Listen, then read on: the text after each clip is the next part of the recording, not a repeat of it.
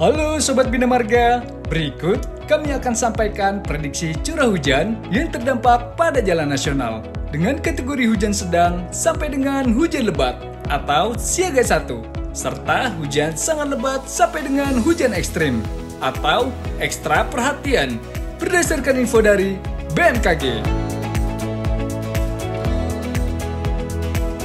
Bisa kita lihat prediksi curah hujan yang terdampak pada jalan nasional pada Pulau Sumatera terpantau 16 PJN berstatus siaga 1. Sementara terpantau cerah pada wilayah Pulau Jawa, Bali, Nusa Tenggara Barat, hingga Nusa Tenggara Timur. Untuk Pulau Kalimantan, terdapat 14 PJN berstatus siaga 1 dan Pulau Sulawesi hingga Merauke terpantau 29 PJN berstatus siaga 1. Sedangkan informasi waspada banjir jalan tol pada Pulau Jawa di mana terpantau cerah atau tidak terdapat ruas berstatus siaga satu maupun ekstra perhatian. Dan informasi waspada banjir jalan tol pada Pulau Sumatera di mana terdapat empat ruas berstatus siaga satu.